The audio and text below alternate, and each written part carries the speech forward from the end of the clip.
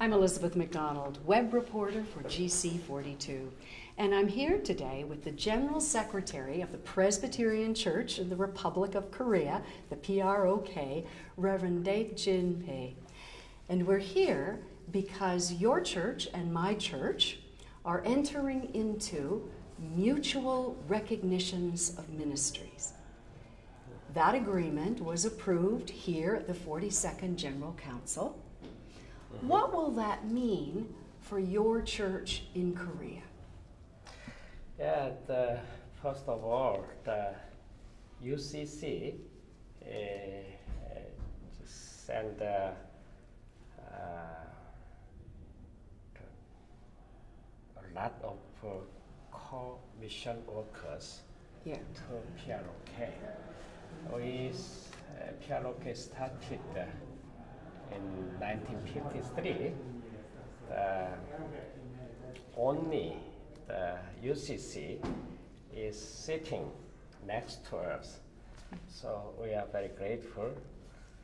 Uh, and uh, UCC uh, mission co-workers uh, working with us, neither uh, uh, father and mother, just sister and as a sister and brother. Uh, it, uh, we working with us, and we uh, we have come to know the God's mission uh, and uh, uh, mm, justice, peace, and life theology from UCC.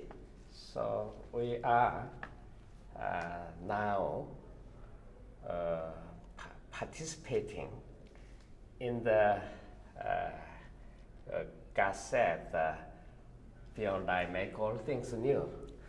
The, I'm very thankful that UCC and PROK co-participating the this vital passage.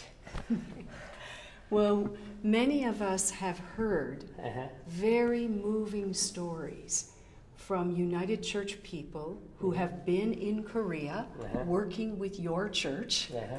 We have been moved by those stories.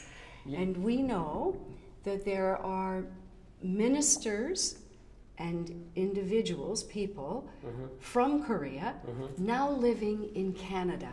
Mhm. What will this agreement, recognition of ministries, mean, do you hope, for us in Canada? Yeah, the now the Korean uh, the number one immigration country is Canada. So many of the Korean people now uh, is uh, enter into the Canada, and uh, there is uh, Korean uh, people in Canada. Uh, the population is uh, is on the increase. I think it rapidly increase. So the maybe they they need uh, pastors and the spiritual mentor. So the we PROK the pastors uh, in the past uh, from now uh, 65 uh, pastors was uh, worked and uh, working and uh, will be working.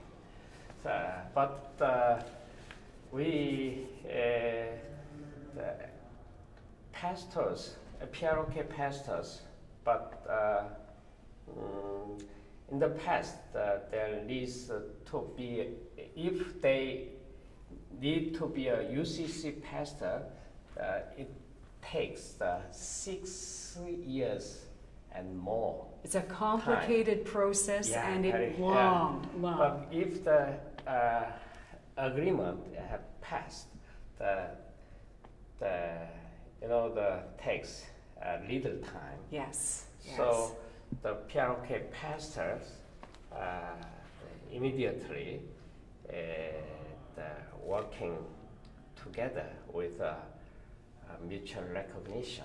So this agreement Uh-huh. opens the door Uh-huh. for PROK ministers to be welcomed and to work Uh-huh. within the United Church Yeah. here in Canada.